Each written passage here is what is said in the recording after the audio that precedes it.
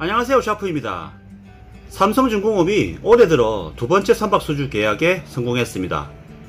삼성중공업은 오세아니아 지역 선주로부터 2292억 원 규모의 대형 컨테이너선 두 척을 주문받았다고 26일 공시했습니다. 이 선박은 2022년 12월까지 순차적으로 인도할 예정이라고 합니다. 이번에 수주한 선박은 20피트 컨테이너를 한 번에 1만 3천 개까지 실을 수 있는 대형 컨테이너선으로 칠소 산화물 저감 장치인 스크러버와 선박 배경소 처리 장치를 탑재해 친환경 규제에도 대응이 가능하며 각종 연료 절감 장치와 스마트십 솔루션 S배슬까지 탑재되어 경제적인 운항이 가능하다고 합니다. 삼성중공업 관계자는 올해 신조 발주 시장은 불확실성이 여전히 존재하지만 친환경 고효율 선박 수요 중심으로 완만하게 회복될 것으로 예상된다며 기술 격차를 바탕으로 올해 일감 확보에 모든 역량을 집중할 계획이라고 했습니다. 한편 삼성중공업은 지난 5일 LNG 운반선 한 척을 계약으로 올해 첫 수주에 성공했으며 이번 대형 컨테이너선 두 척 건조 계약까지 따내면서 1월에만 총 4억 달러, 한화 4,400억 원 규모의 수주 실적을 기록했습니다. 이는 코로나19 확산과 유가 급락 영향으로 인해 지난해 1분기 누계 수주 실적이 3억 달러에 그친 것과 비교해 매우 대조적인 모습입니다. 이런 실적들을 취합해보면 올해의 경우는 친환경 선박 중심의 선박 발주까지 시작되면서 작년보다는 훨씬 좋은 시황이 펼쳐질 가능성이 높은 것 같습니다.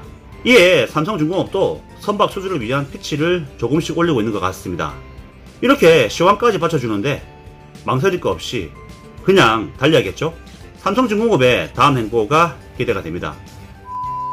현대미포조선이 유도 배운사와 5만 톤급 피시선 두 척의 건조 계약을 체결했다고 합니다. 신조선 상가는 척당 3,600만 달러, 한화 약 396억 원으로 두 척의 총 수주가는 7,200만 달러, 한화 약 792억 원 규모로 지난해 동급 선사와 맺은 계약에서 포함된 옵션만 두 척을 추가 수주한 것이라고 합니다. 현대 미포조선은 이번 수주와 관련해 계약 기밀상의 이유로 발주처와 선박 옵션 사항들은 비공개했습니다. 신조선은 건조계약 후 15개월 후인 2022년 3월 인도된다고 합니다. 계약 시점과 비교해 선박 인도 시기가 빠른 것에 대해서 현대미포조선은 작년부터 이미 건조 오양서를 체결하였고 협상을 진행해 왔기에 건조 일정이 빠르다고 설명하기도 했습니다. 이번 수주는 지난해부터 확실시 됐습니다.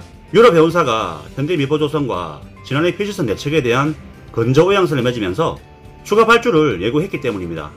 현대미포조선은 전 세계 피시선 발주량의 절반가량을 가져올 정도로 중형 피시선 전통 강자의 면모를 보이고 있습니다. 한편 현대중공업그룹은 새해 첫 수주를 시작으로 지금까지 12척 13억 4천만 달러 한화 약 1조 4,756억 원을 수주했습니다. 현대미포조선은 이번 수주로 올해 세 번째 건조 일감을 확보했습니다. 현대미포조선의 다음 행보가 기대가 됩니다. 오늘 영상은 여기까지입니다. 감사합니다.